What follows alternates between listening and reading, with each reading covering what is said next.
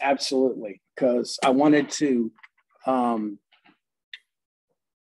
we can go right into it. If you've got any questions, please go right ahead. So formatting wise, the first page, that is what you want to, so we can put the title, like I was thinking position paper one, conflict, and then you lay out the prompt. So like, like on the front, you say the whole thing you gave us, I really don't like conflict, like that whole thing. Right. Then you put group A with your, or group with your names, and then you put your immediate one paragraph response. And that's, that's all you want on the first page. Then you Well, this, this is the way you can do it. Six hundred words, only in the text. So I mean, that doesn't include your name. So at the upper right hand, I'd like you to put your group letter, mm-hmm. your four, your, your four or five group members, whoever they are. You can put that quote in there and it's your response that's the six hundred words. Yeah, yeah, yeah. So you would state in the first paragraph whether you agree or not. And then you can just let it spill onto another page, your justifications. So based upon whatever you see, I do not believe I can do this. And then you would go into your reasoning, whatever that would be. And it would take you maybe two pages. And then after the two pages, or right after that, you could put in your bibliography if you have. So only one person needs to um, turn it in in your group. So just one person, you all will have the same group. And then at the end of the semester, you'll have a online group evaluation.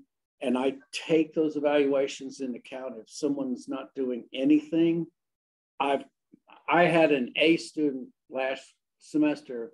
I had to give a B because they did not contribute. I hate doing that, but everybody needs to contribute in a group, no matter no matter how small it is. Okay, so yeah, so I mean that's how it's done. So the bibliography, that you don't want that accounted for in the 600 words. That's strictly the response, right? Right, Okay. and, and it doesn't have to be 600 words, but I really would hate if it were less than 500 because the subject needs to be fleshed out.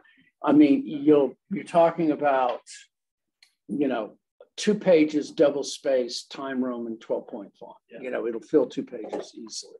So, and it'll be due, I, I don't know if it says Thursday or Wednesday, but it's due Thursday at 11:59 at night. Okay, so you can turn it in anytime. While I'm doing this, I want to announce also that there will not be any class in-house on Thursday because I would like you, if you have a chance to go attend the thing at the conference center. Um, you don't have to, but if you go in and you sign in, I will give you three points on your next test. Okay.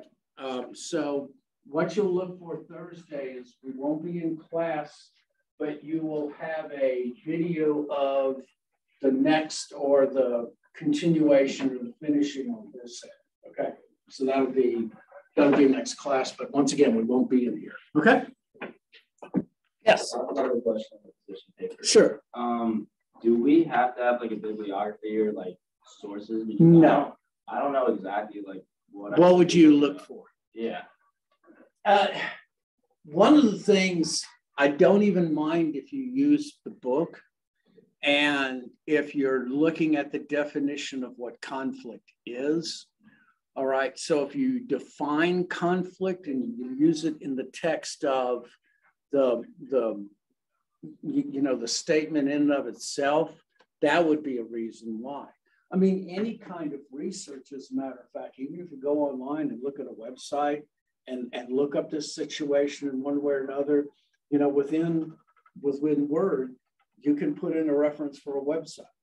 So I mean, that would be an example. All right. And and the one things to avoid to get a better grade is avoid I guess or I think or anything like that. You know, I want a strongly worded statement and I want the statement to be based on facts, whatever those facts are. Okay.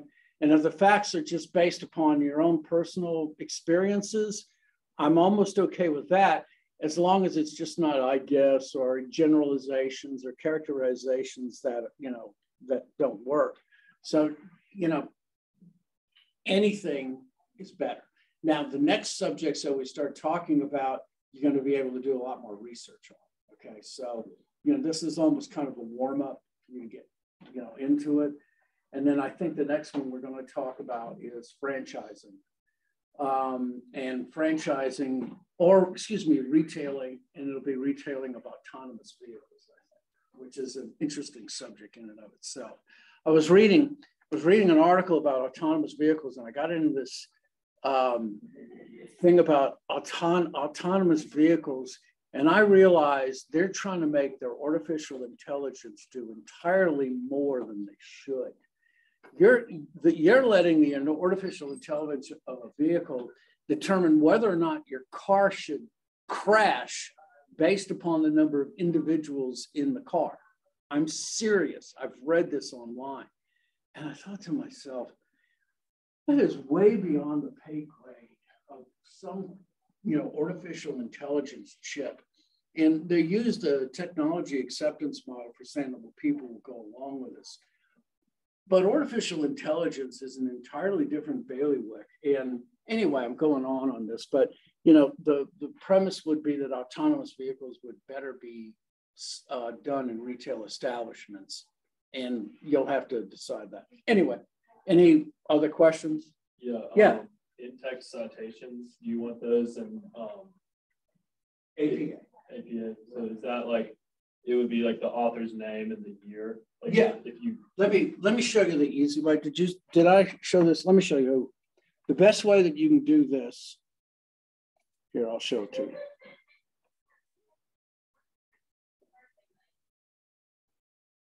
So come on. Where's Word? I hate when it doesn't just stick out. Um, Word, there we go. So let me show you an easy way to do a bibliography. Um, blank document. So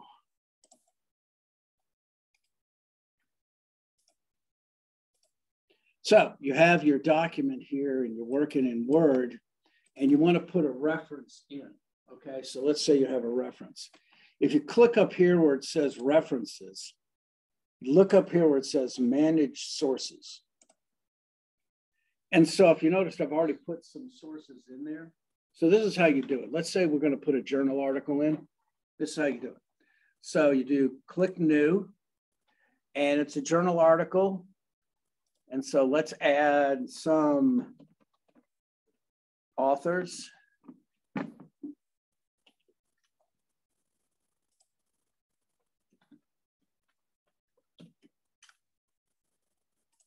Okay, so click OK. Title, uh, let's see. Okay, the journal. Uh, you put in the year. Oops. Pages are usually important um, because especially if they define by volume or issue, so once you do that, come down to volume and issue. Um, they've been doing volume and issue instead of dates or months. So click OK. And so if you notice, it's in there now. Watch this. So I am going to copy all of those over. And I'm going to close this. Now watch what happens. If you click on bibliography and you do insert bibliography, it does it all for you. Real simple. Let me also show you this. If you notice it says APA style, I can go here, change it to Chicago style, does it all for you. One of the real cool things there, okay? And then, you know, all you have to do is just highlight it and then change it to Times Roman and 12 point, and you've got it all done. There you go. Yeah, I was thinking like whenever we're referencing it in our 600 words, like, Mhm. um, do you want us to do like a abbreviated, like reference, like where you put parentheses, then the author's name? Oh, oh, is just this? just this. Okay. That's all you have to do. And the bibliography doesn't count Okay. for the 600 words. Yeah, yeah. So, yeah, I mean, any, you know, I mean, APA stylish is fine for me. And you have no idea what a time saver this is, believe me. Um, so um, just use this as a way of doing it. And with the um, book, Mhm. in referencing the book, do you want us to put like chapter five, like the one about channel conflict, like reference the chapters we use specifically? Generally, what you'll do in a book chapter is, uh, I think you'll do that. If it is a direct quotation, then you have to put exactly which page it was on. But if you do new and you're doing a book section, or you do just a book, usually if you notice, these are the key things. And where you see the titles, those are the most important things. Um, and uh, of that, you know, you can, I would, I would put in probably the page number and, and that would be it. Okay. Okay. And then you'll, you'll be okay. I wasn't planning on using like quote unquote, Right. more so just general ideas and stuff. Sure, sure, no problem. Yeah, I mean, you know, anything in the book is a reference. I mean, any definition is. The only things is, of course, if you use like the exact wording in in anything when you're doing research, you must put literally the page that it's on. And you can have some journal articles, by the way, when you're doing stuff. If you have three quotations in a journal article, they'll just reject it. So, you know, you keep the quotations alive. Okay, all right. So let us start talk about chapter seven. So wholesalers have been around for a long time. Wholesalers have a unique structure. They are important in the system, and yet they are kind of unique, very much so, because one of the things that wholesalers have, especially, is that they don't touch the end users, that their functions primarily happen between that area somewhere in the middle. If we look at wholesalers in a historical way, you know, wholesalers are traditionally a go-between between the manufacturers and items that are mass produced and the smaller re- retailers that require a variety of items. Now, wholesalers have been around for a long time. Uh, the, the roles change and evolve, but wholesalers to their um, better. So if I were looking at manufacturers of items here, and I were looking at the wholesaler, what the wholesaler's vision to provide is to provide to their retail members. And so a wholesaler's vision is to see what's going on in the retailers and how to help them. Um, the interesting thing about it is, is that 83% of all of the distributors or wholesalers that are out there nationwide are actually under $10 million in annual revenues. So there's actually a lot of room, uh, and I'm going back and forth on this, there's a lot of room for wholesalers out there. But then by the very same token, there's an enormous amount of consolidation that has gone on in the wholesale industry as well. So what does a wholesaler do? So I have manufacturers of cigarettes. I have manufacturers of soda or soft drinks, and I have manufacturers of beer. And those are generic manufacturers that produce goods for consumers. All right. Doesn't matter who they sell to. On the bottom, I have mom and pop stores. These are just um, convenience stores who basically sell goods that are convenient, all right? And they have needs and desires. But the difficulty with these mom and pop stores are that quite simply, they don't have the volume and mass to be able to order in the quantities that the manufacturers demand. So like manufacturers will add or order by a skid and a skid is like six foot on a square and it stands six feet tall, and there's no way that a mom and pop store can do that. But an intermediary can, a wholesaler can. A wholesaler can collect a bunch of mom and pop needs together. Not only that, but they can focus on what are the best goods that mom and pops have and what they sell, and that they can focus on them as consumers in a way. And they can take their collective needs, put it all together into one single purchase. These manufacturers send directly to the wholesalers. The wholesalers prefer perform the demand side function of breaking bulk, and it starts sending those goods downstream to the retailers. And this is what wholesalers do. They don't sell to the, gen, the uh, general public, but because their focus is serving the industry that they're in, they provide an extremely valuable function and they're very desirable. Um, you can't live in a modern world without it. So, what is the definition? Wholesaling refers to business establishments that do not sell many products. I, I kind of like that because they, some are to ultimate householders or end users. Generally, as a rule of thumb, they sell to businesses below them retailers, merchants, contractors, industrial users, commercial users. They're very closely associated with tangible goods, but it's important for you to understand that they provide an enormous service as well. They provide a midpoint for those mom and pop stores that without they, them not existing, mom and pop simply couldn't survive. What is important to realize, though, in the whole process is that it's an intermediate step. And so the intermediate, quite simply, means is they stay in that intermediary between the manufacturer and the end user, who of course performs channel functions. And that's where they live. They live in that bandwidth right in there. So, what is it about wholesaling that makes it so unique? Unique. The most significant thing about wholesalers and distributors, they're independently owned. They're not owned by a manufacturer at all. They buy and sell products. Here's the key of which they claim ownership. What does that mean?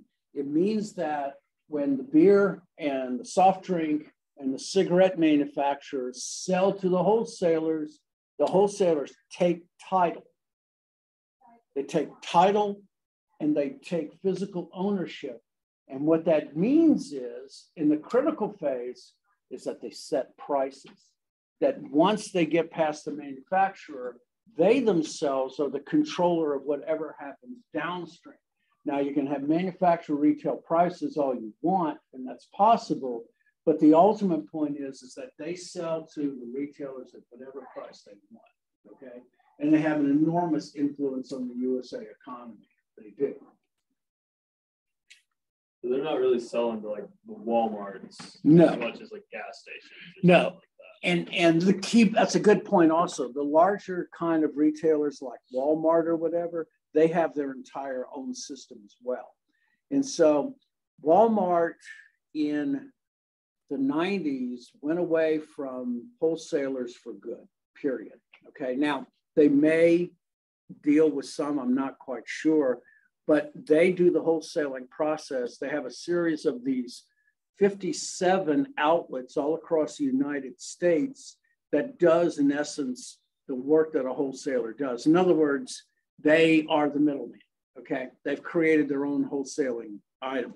Now, if you work for a Lowe's or you work for someone else, it's very possible you could have a middleman to do that. Lowe's Foods actually doesn't own their own meat. They actually buy from the North Carolina Cattlemen's Association. So they have a middleman as well. Okay. Yeah. So there is a distinction a historical one by wholesalers and distributors, and I see this slide up, and you know, I I, I want you to know the distinction. It might, you know, win you a bet at a bar, but I don't think it's much more than that.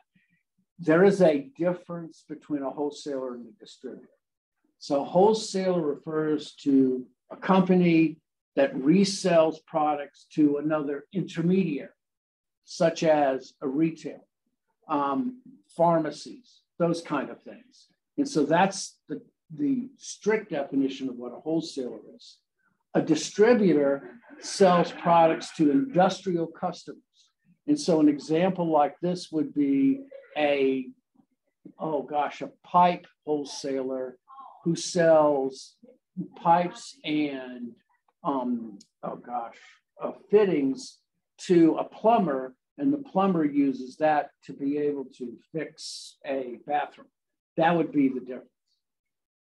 Wholesalers and distributors have titles to the goods they sell.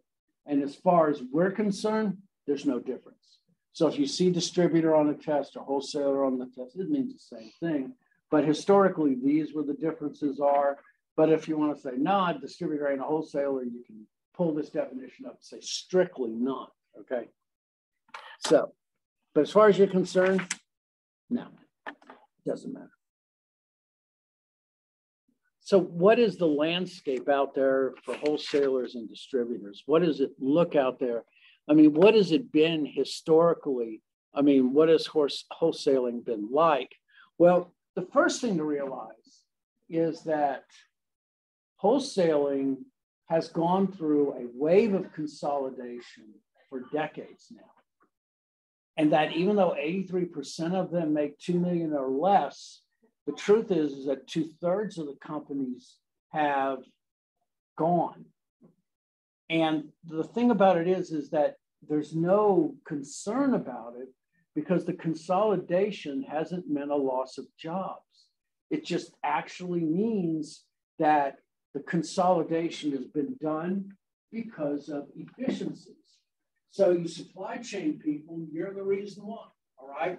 because the efficiencies of supply chain, which mean the enhancement of long-term performance through strategically coordinating the movement of goods, has become so efficient that when wholesalers get to a certain economies of scale, they can make much more money. And so what you find is the consolidation strengthens the distributor network while it reduces the numbers, but it's not reducing the number of people. What it also says, and it's important to realize, if you remember this back from chapter two, is that just because you eliminate the people or the, the people in the mix, you can't eliminate the channel functions. And so everything that was performed by five companies that's now consolidated to two, all of those functions still need to be provided.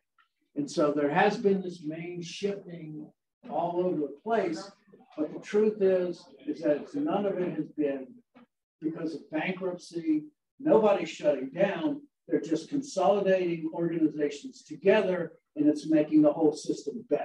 So it's actually a good thing. So, despite all of that, concentration does remain low and that there is fragmentation, but it doesn't reflect the, the concentration of itself. And big corporations are not necessarily more powerful than others because power is property of a relationship and not the business itself and not the business size we can find large distributors and small distributors doing just as well in given mar markets. And it has nothing to do with the fact that they may be bigger than others, but they have just as much power because of the powers that they have in the relationship.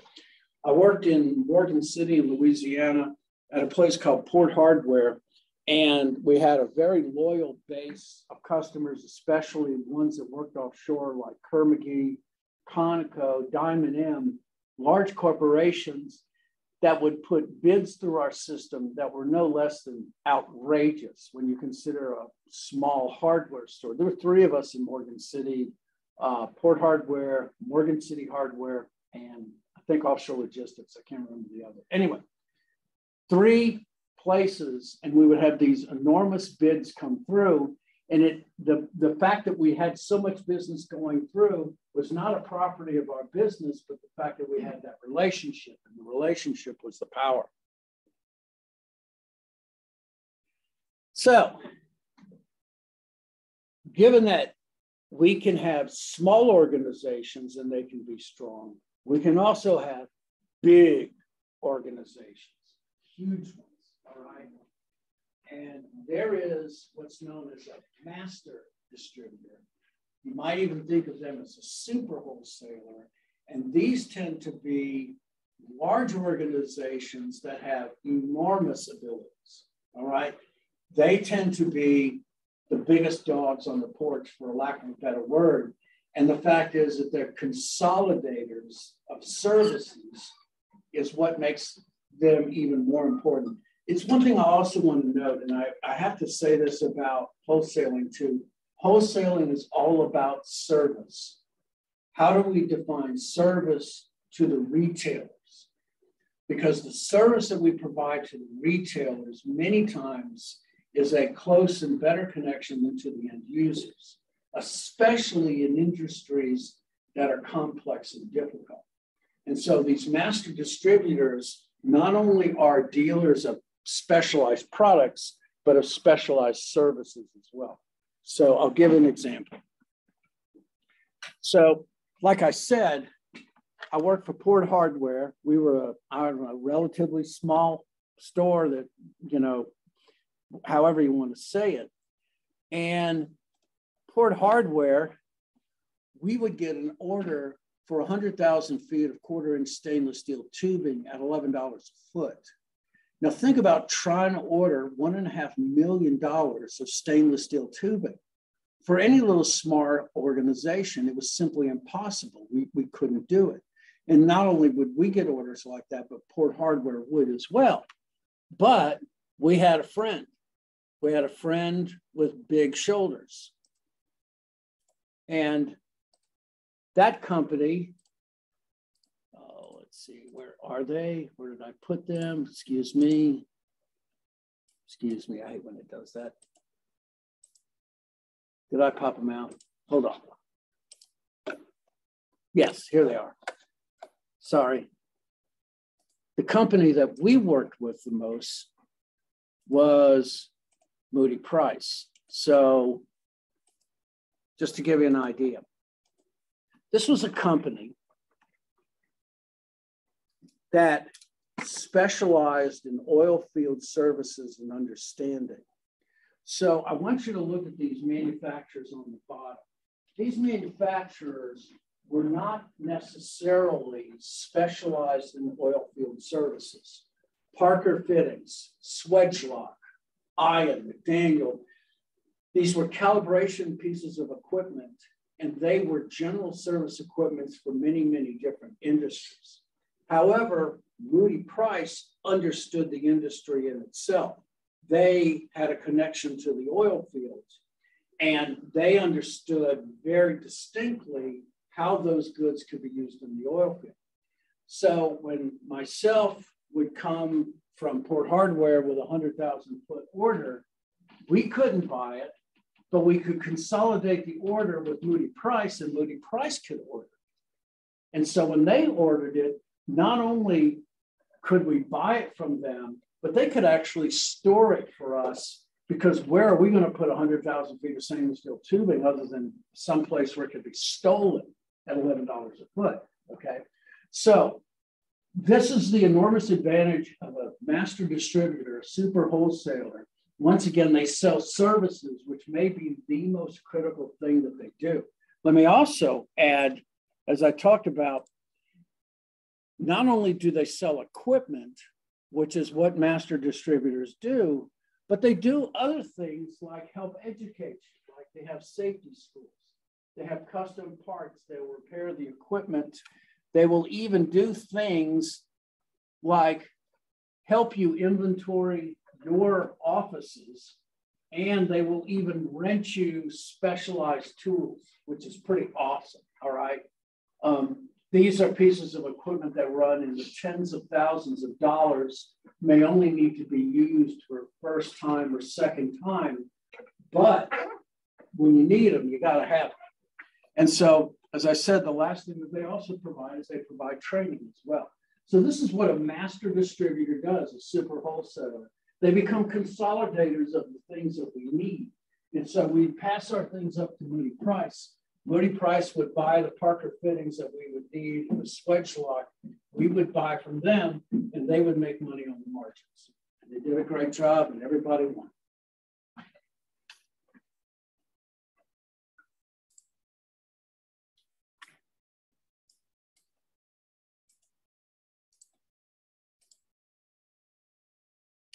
So how did it work? This is an example. So you'd have multiple manufacturers, just like you had with Moody Price. They would all consolidate their things together to master distributors. The master distributors even sometimes work with wholesalers. They work directly to us. You would find retailers right here, and there were something like 1,300 of us. Now, Moody Price across the Southeast, there's like 1,300 stores they work with. And eventually it pushes out into the oil field industry and it's extremely successful. It works great for us. Okay. So it allows us to have an enormous assortment, great delivery. And as I said before, they worked as an invisible warehouse. So what it meant is, is that we had goods. So we were in Morgan City and they were in Houma, which was 52 miles away. And all we had to do, if I needed 10,000 feet to go to Conoco dock, is they would ship us to get a hot shot, move it out to there, and we'd have it whenever we needed. So we could actually have our goods on their warehouse or on their fields, and would be taken care of and would be safe. And it works great. So not only that, but master distributors have a much deeper connection with their retailers or the wholesalers. It, it's a very intimate connection because they can demonstrate what's the best way of the practice. You have to, when you cut the ferrule in a stainless steel fitting, it has to be done in such a certain way because the stainless steel fitting is holding something like 1,200 pounds of pressure and it has to be done right. They can show us how to do that. Um, they can help us in advertising. The, their dimensions of scope help us to resolve logistic problems. And so it's all a win win situation to have a master distributor in the group. Now, what are the other supply chain participants they don't put agents here, but I want to put agents up there as well. Manufacturers can actually have branches out in a wholesale operation, like an oil field area. And they actually don't have the product there, they, but they can be there for technical support on how to do things and do things well. All right. So they don't have possession or inventory. They, they work as wholesale distributors they may only have a single individual in the office in that area, but that one individual generally works on something that is complex and helps the wholesaling operations and the manufacturers in the area. Agents, manufacturers, agents are salespeople who do not take title or equipment, but represent more than one manufacturer. So Purolator used to have a guy who was a manufacturer's agent in Morgan City. And if you don't think they use oil filters, oil filters on diesel engines have to be changed like every 500 hours. And they run diesel engines 24 hours a day. So they're changing filters maybe once a week. He had a new car every time I saw him. Um, so, I mean, that's an example. He never worked, he didn't work for Purolator, but he would take orders for them. And he had another broad amount of equipment that he sold that was generally uh, around the, org- the oil field in general. So the last thing I want to talk about before we go is I also want to talk about, so yeah, talked about agents, which are important, but I also want to talk about third-party logistics providers, okay? Third-party logistics providers, 3PLs, don't take title to goods, but they have activities they do activities in the process for which they charge an activity based fee. So, what would be an example like this? So, in the Gulf of Mexico, you have two types of platforms. You have a drilling platform and you have a production platform.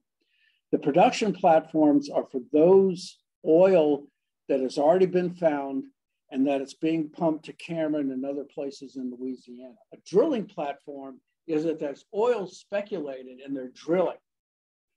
It costs anywhere from $400,000 a day because they don't buy them, they rent them. They rent the drilling platforms from like Harima and Schlumberger and other corporations. So Conoco Oil doesn't own the drilling platform, they rent it. So it can be as an inexpensive as inexpensive as four hundred thousand dollars a day to rent one within less than a thousand feet of water, to a drilling ship, which can go down to five miles of water, which can be as much as six hundred and fifty thousand dollars a day. So think about spending that money every day, 24 hours a day. You have to keep those things running at all times if you're going to get the most out of it. Now, think about what happens if one hose breaks and it's costing you $650,000 a day when you have people on the oil rigs just sitting there twiddling their thumbs. So, what is there? There is something that's called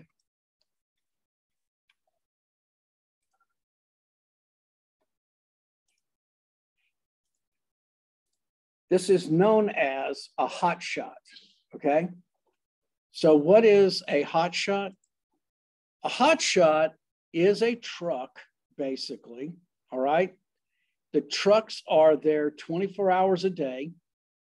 You call them up and they will move goods from point A to B in the fastest amount of time possible even if it means they're getting past or exceeding speed limits. That's why they're called hot shots. So my, my brother worked for a hot shot trucker. They can be as small as this, okay? They can be as small as a three quarter ton pickup, or they can be giant 18 wheelers. But generally, I've, I've seen this. I was called out at 2 a.m. in the morning.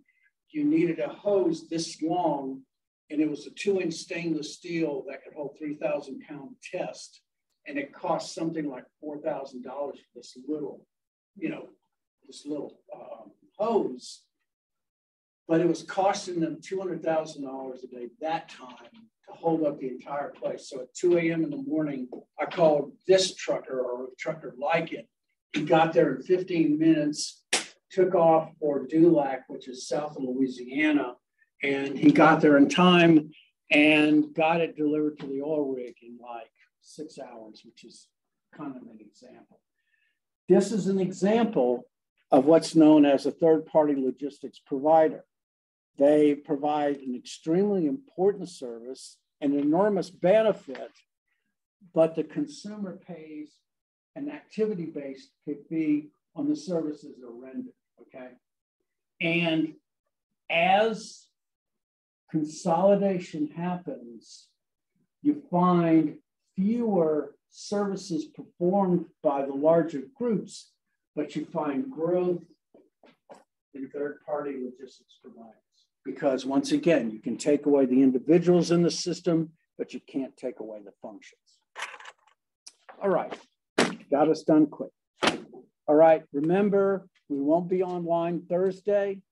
Um, I will have a, a uh, recording posted that will finish chapter eight wholesale. Okay? See you. Um, the conference that we were talking about,